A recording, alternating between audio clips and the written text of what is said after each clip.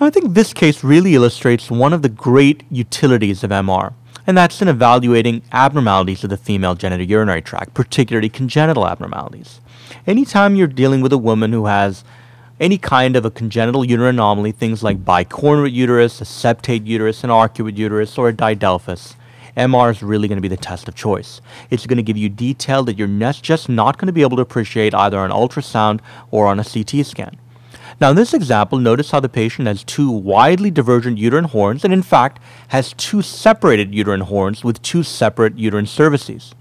This is a patient who doesn't have a bicornuate uterus or a septate uterus. This is actually a uterine didelphys, and you should be able to make a specific diagnosis based on the MR images.